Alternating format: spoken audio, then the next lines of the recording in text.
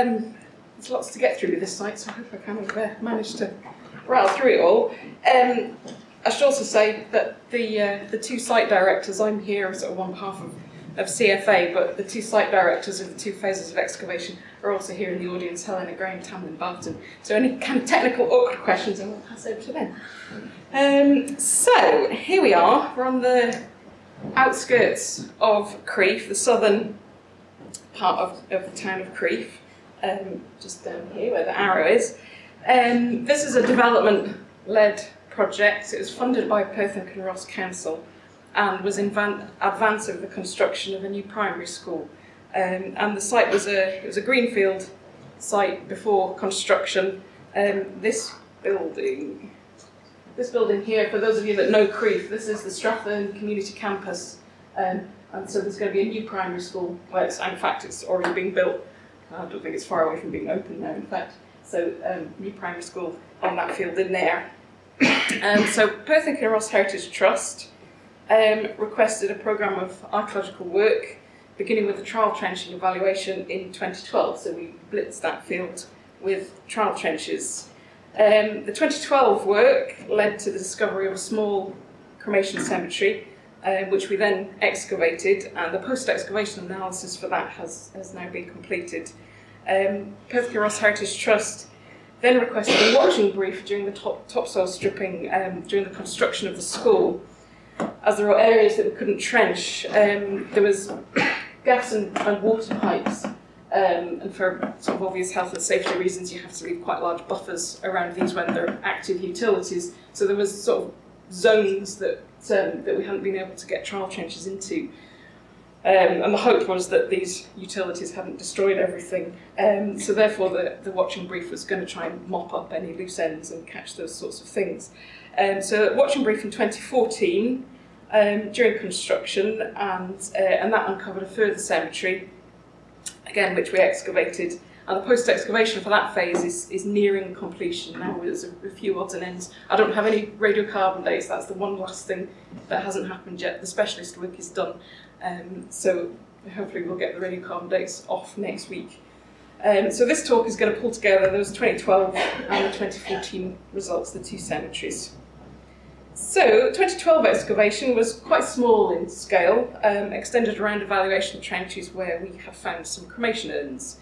Um, it uncovered a small early Bronze Age cremation cemetery uh, consisting of 19 individual pits cut into the natural. Pretty kind of unassuming looking site. Um, here's the site plan. So, of these 19 pits, three of them, these green circled ones, um, were cremations inside cordoned urns. Um, we had a further six pits, these yellow ones, which had cremated remains just placed inside a pit, no urn at all. Uh, and this mixture of urned and unurned cremations is, is not unusual on the same cemetery for this period. Um, the remaining pits, they had nothing in them. They're harder to explain. It may be that plough truncation has removed the, the contents of the pits. Perhaps they had a different function, had nothing, you know, something else inside them, not, not related to the cremation cemetery, um, something to do with the rituals going on around the cemetery, perhaps grave markers, that kind of thing. Or, I mean, the other interpretation is actually that they're completely unrelated and from a different period entirely, um, it's just coincidence that they happen to be within the cemetery.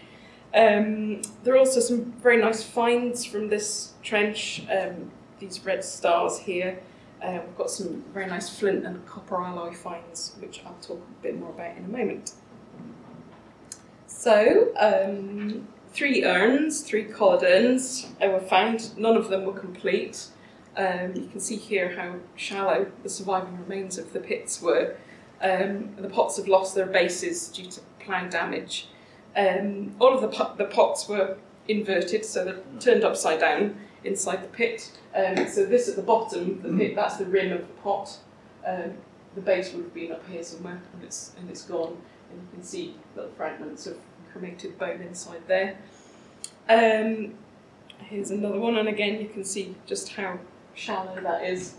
Um, again, the rim at the bottom, cordon urn, so you can see the cordons running around the around the vessel, and again the base is gone. Um, so these cordon urns, we'd expect them to date between about sort of 1900 and 1500 BC. Um, cordon urns mainly found in Scotland and Ireland during the early Bronze Age, and they're probably a distinct regional form um, with links to other types of early Bronze Age cremation vessels, such as collared urns, and they're decorated with kind of classic geometric designs. Um, of three pots that, that we found, uh, one of the pots had the remains of two adults, uh, possibly one male, one female. Another one also contained two people, a young adult and a juvenile, um, and inside that pot there are also some cremated bones from a young sheep or goat. And the third pot had three people in it, a mature male, possibly female adult, and a juvenile, and again some cremated bones from a young sheep or goat. Um, and when I say that they're possibly male or possibly female, um, it's obviously the, the, the, bone identifications. The cremated bone, you know, you get reasonable sizes of, of, pieces of bone, and the specialist needs to kind of make a judgment on, depending on which body parts you've got and the size and the, the, the morphology of the bones. And um, so sometimes it's you know more likely to be a male or a female, but we can't always say with absolute certainty. Um, the unurned cremations, the ones without pots, primarily just each had a single individual in them, um, both males and females represented in those.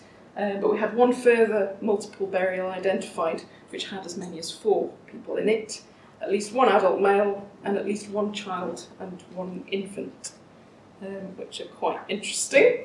Um, three of these cremations, including one of the urned ones, were associated with copper alloy objects. Um, these items were double-edged copper alloy razors with some more complete than others.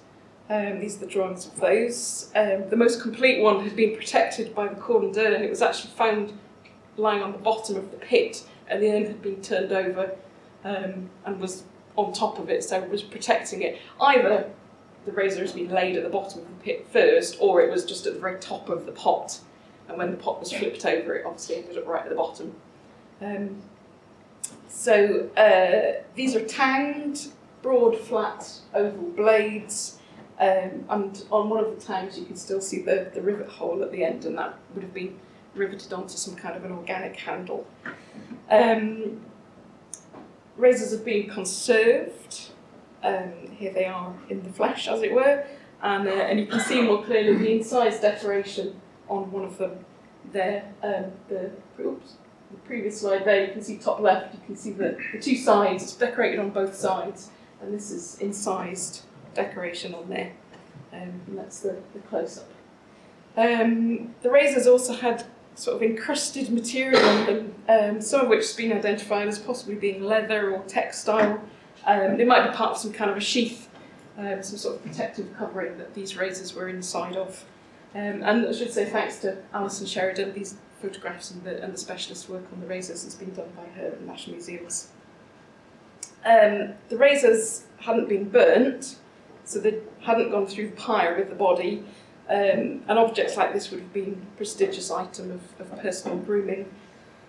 Um, they could have been used like a razor or a small knife, and um, almost all of the razors found from the second millennium BC um, have been found in funerary contexts and are most normally associated with cordon urns.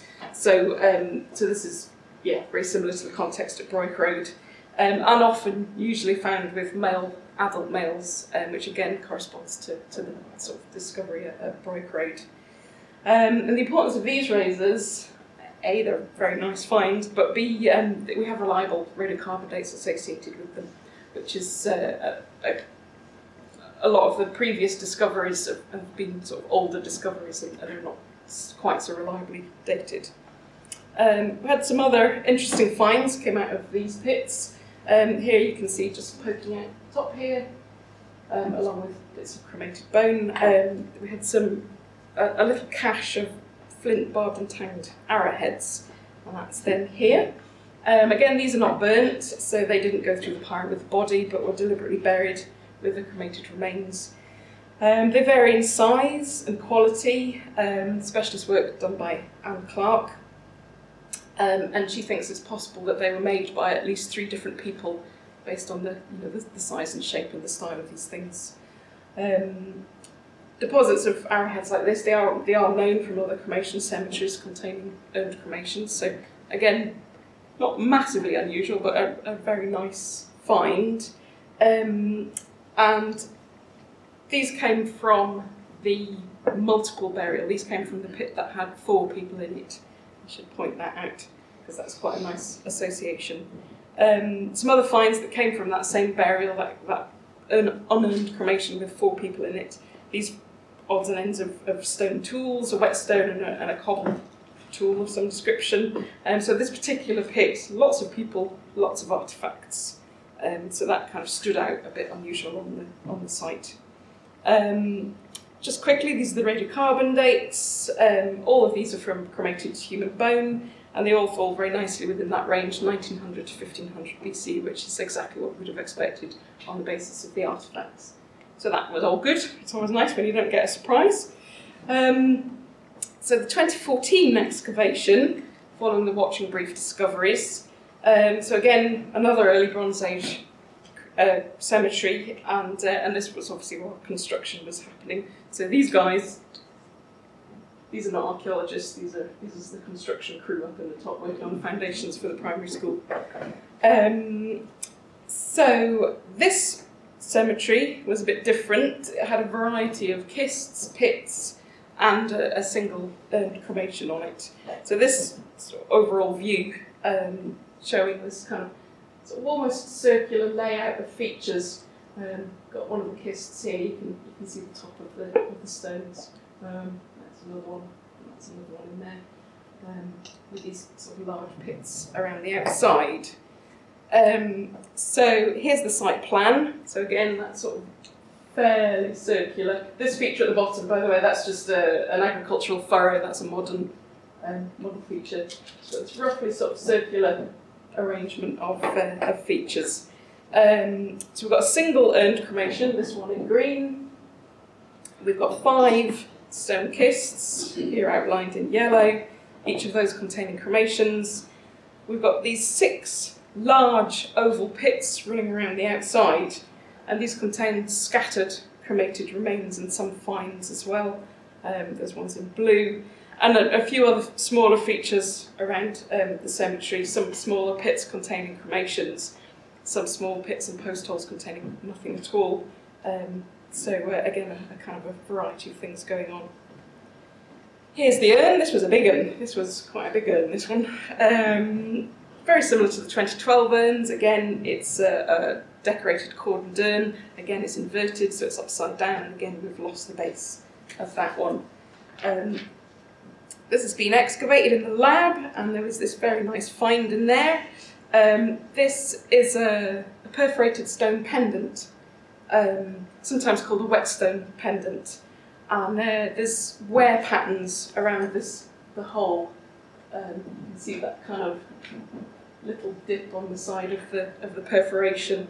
Um, some sort of wear relating to how it was worn on a, on a cord or a string. Um, so that's rather nice. A bit of a surprise. It's always good when you excavate those, you never know what you're going to find in them. Um, the individual in this pot, he was a, a single middle-aged old male. Um, so, five stone kists in all. Um, I'm just going to very quickly run through these, these kists because they're all a bit different from each other, all interesting in their own way. Um, this one didn't have any capstones, had been plough damaged along one side. So you can see the side slabs here, but there's no side slabs on this side. Um, and again, you can see that here, side slabs, and the slabs have been, have been ploughed away and they've gone.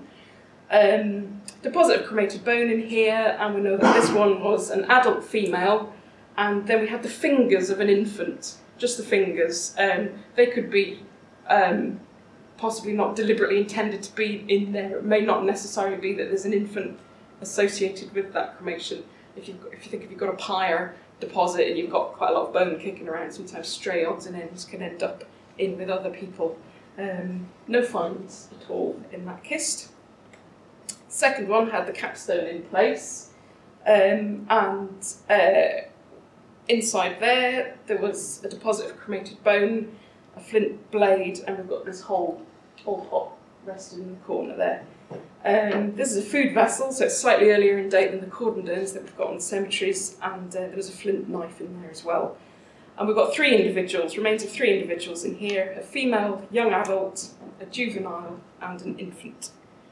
Um, Kist 3, uh, initially visible just as this massive capstone. It didn't look particularly exciting, to be honest. There's no side slabs or anything visible. Um, but once removed, there was a kist underneath, and um, there's two episodes of, of deposition of the cremated bone in this one, separated by a layer of cobbles inside the kist. So there's material put in, a layer of cobbles, and then more cremated material in, in the top. Um, again, three individuals in here, a female young adult, a sub-adult, sort of teenager, and a juvenile, um, and a flint scraper was, uh, was recovered from the fill. Fourth kist, this wasn't expected to be a kist at all, it doesn't look like a kist on the top. Um, it looked like it was just going to be a stone-filled pit. Um, but once these upper stones were removed, there was this massive capstone underneath. And you can just see under there, these are the side slabs of the kist underneath. So absolutely huge capstone under there. Um, there was a bit of a, a void underneath um, when we finally got the capstone off. Uh, and again, in this in this case, there was a, another whole pot and another another food vessel. This one was a bit crushed, but um, all of it was there. Um, unfortunately, this case, there was almost no bones surviving. There's a few fragments, so I can't tell you anything about who the people were or person because um, it's the, the pieces are not are not well preserved enough. Um, no other no other finds. Final kist is the most spectacular one and it was roughly in the centre of the cemetery. Um, again, it was sort of like looked like a large stony pit on the surface, um, but was found this mass again this massive capstone um, in there. These ranging rods are a metre in length, just to give you a, a sense of the scale of that. Um, and this large capstone was sitting on this layer underneath of, of flat slabs. Um, so we lifted the capstone, there's the, the slabs underneath, um, and once we removed those, those stones, there was another capstone under there, so double capstone. Um, again, uh, capstone was removed, and beneath that was the kist. Here's Tam lifting the capstones. This was really nice because the kist hadn't filled with stone, uh, with soil. It was so well sealed by this double capstone with the, with the slabs in between that it was just the fresh air under there, which is always a really nice, interesting thing that happens. With, then the piles of bone were immediately visible inside underneath that capstone. Um, the bone was almost in two piles. It looked like two separate deposits of bone. Um, our current theory is that it's possibly two bags of bone that have been sort of put inside the kist because they're just these really nice heaps. Um, and you can imagine that this, because it was so well sealed and there was no soil in there, that this is just exactly as it had been left, you know, um, nearly 4,000 years ago. Um, so it was a real kind of opening of the tomb sort of a moment. Um, these piles of bone, despite the fact that they look like two heaps, it's actually, it's actually very mixed. Um, and there are three people in here, three adults. We've got one man, one younger female, and one older female in there. Um, finds an unburnt flint scraper.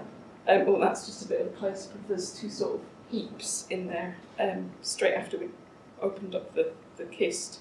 Um, so we've got an unburnt flint scraper, we've got um, a burnt bone awl at the bottom there, and um, some barbed and, uh, a barbed and arrowhead.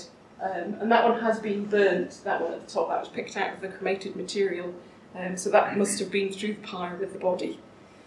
Um, the total depth of this pit that contained this kist and the double layers of, of capstones was about two metres from current ground level to the bottom of the kist. Absolutely massive, completely different scale um, to the other kists, really substantial feature. Um, so very interesting indeed. Um, go back briefly to the site plan. Um, again, these are the kists. That red one is the is that massive, massive kist that I've just been talking about. Um, so you can see it sort of almost sits in the middle of that ring of pits. Um, so I'm just going to briefly talk about these ones outlined in blue, um, and then one other pair of intercutting pits outlined in purple at the top there. Um, so that purple one at the top, these two pits um, contain a huge amount of burnt material. Um, so layers of charcoal um, towards the, I think towards the bottom of the pit, um, and a, a, a, bit of a recut at the top. Um, cracked stones, charcoal, that sort of thing. So our current working theory is that this is sort of related to the pyre deposits and the and the process of burning the bodies because there isn't any cremated material in there. Um, so it's not it's not relating to the deposition of the bodies. Of course, it could be entirely unrelated. It could be a completely different date, but we'll find that one out. Um, the blue pits, outlined in blue, these all had this kind of upper stony fill on the top. Um, and in some, many of the cases, it actually looked like there was slightly upstanding cairns. Um, they were certainly sort of standing proud of the of the natural. Um, they weren't visible above the, the topsoil and the, and the grass that was on the site beforehand, but they definitely seemed to be sort of slightly slightly upstanding. Hadn't been quite ploughed flat. Um, and there were some of them were sort of you know 20 40 centimeters in height above above the, the, the level of the natural around them um, these pits contain scattered cremated bone that's another sort of, again you can see that slight cairn like quality to them So some scattered cremated bone in these and some finds, including things like flint flakes. Um, some of them also contain burnt bone pins and, uh, and a bone bead, and that's mm. those there.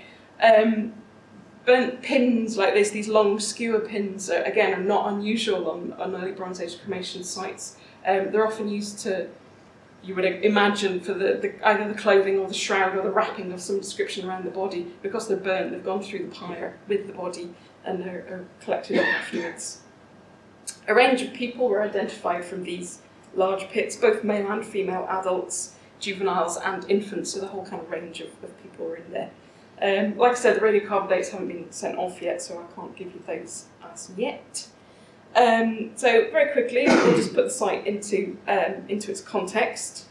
So just to the southeast of, of our site um, is the scheduled monument of Broich Cursus. Um, it extended to the north under the school, so it extended up through here, that's Strathearn Community Campus in there, um, and an excavation happened under there by SUAT in 2007 before the, before the, the campus was built. Um, and in the vicinity, you've got a, a, variety of other ritual and burial monuments, likely dating to the Neolithic and the, and the Bronze Age. Um, so some of these, at least, are likely to be contemporary with the, the cemeteries at Broich Road. Um, so it seems, it kind of looks like this, this area of the outskirts of Crieff was a fairly important centre for ritual activity over many hundreds of years. And it's always also entirely possible that the Neolithic cursus was still visible as a monument in the landscape um, when, when the people at, at our cemetery at Broich Road were, were buried there. And it could be that these kinds of activities are deliberately being carried out close to the, to the cursus. Um, Bronze Age burial practices. Um, so as we've seen, these um, pits, pots and kists were used to receive cremated remains in the early Bronze Age. Um, they include men, women, children and infants. We've got the whole sort of spectrum represented there. Um, the items included within the, within the burials can be classed as either grave goods or pyre goods. If an object is burnt, we can assume it was on the pyre of the person, um, such as the bone pins holding shrouds and clothing. Um, other items are placed unburnt alongside the cremated remains at the point of burial, such as the razors and the stone pendant. Um, it's not known, obviously, if these are made especially for burial or whether they were personal belongings going in there with the, with the individuals. Um, multiple burials, we've got quite a lot. We've got a lot of multiple burials. That is the one unusual thing about these cemeteries. There are a lot of multiples. While multiple burials are not unusual in the early Bronze Age, it is more unusual for them to be quite so many of them on the same cemeteries. Um, it's possible that, it, as I've said earlier, that in some of the cases where an individual is represented by only a few bones, that they could have been accidentally incorporated, you know, picking up pyre debris and people getting kind of mixed up and, and odds and ends being being left behind and incorporated. Um, but many of our multiple burials do seem to be genuinely substantial parts of, of the person. Um, so you can assume that you know the whole person. Maybe not all of them. You, never get, you never seem to get the entire person. Quite common, you, or you seem to get little bits left behind. Um, so, um, so yeah, these people are buried together, and it's interesting to speculate on why.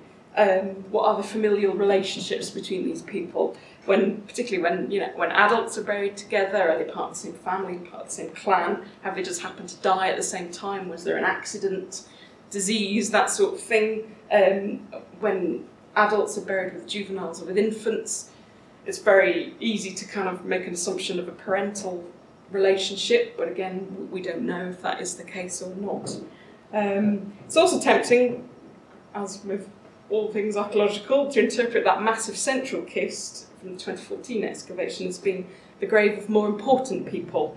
Um, but we don't really understand the choices that are made as to why um, some people put in pits, some people put in pots, and some people put in kists, and the variation that happens also within the kists. We, you know, we don't really understand what's going on behind that.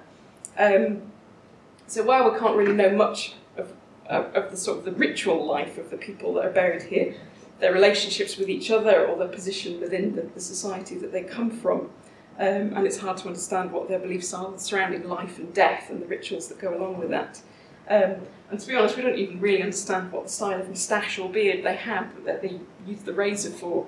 Um, but we do know that the, the artefacts and the range of burial customs, they do suggest that the people buried at Bro Craig were part of a thriving community. They're able to source raw materials um, and skilled production, possibly from within their community, possibly from from uh, from some distance away. So they're they're they're part of a rich and, and varied um, community, um, and uh, and potentially going on over some many hundreds of years. Um, so just some final thanks to um, excavation teams and specialists and the various funders who were involved in the project. And that's it. Thank you very much.